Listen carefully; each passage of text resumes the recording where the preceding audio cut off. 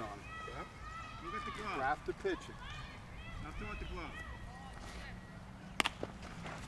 Up! Hustle! Hey, you're not in. You're not a second pitcher. What's the?